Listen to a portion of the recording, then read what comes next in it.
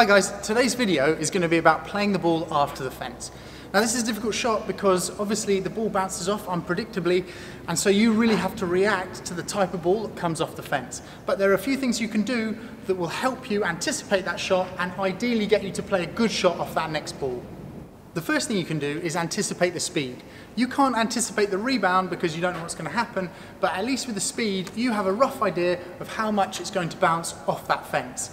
For example, if there's a drop shot that bounces and it just gently touches the fence, you know that it's not going to fly away, it's probably going to stay close to that fence. Whereas if someone were to hit a topspin smash, you know that it's likely to bounce away from that.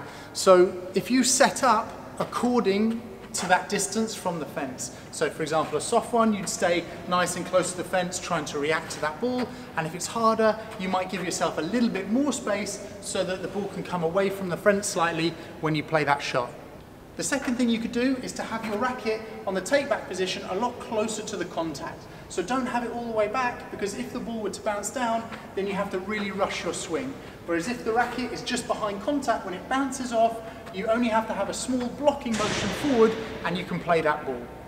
The third piece of advice for this shot is if the ball were to bounce off and it comes away, then take your time. Often people, when it hits the fence, they run in and they rush that shot and therefore they miss it unnecessarily. Whereas half the time the ball will bounce off and it will come up or it'll give you a bit more time.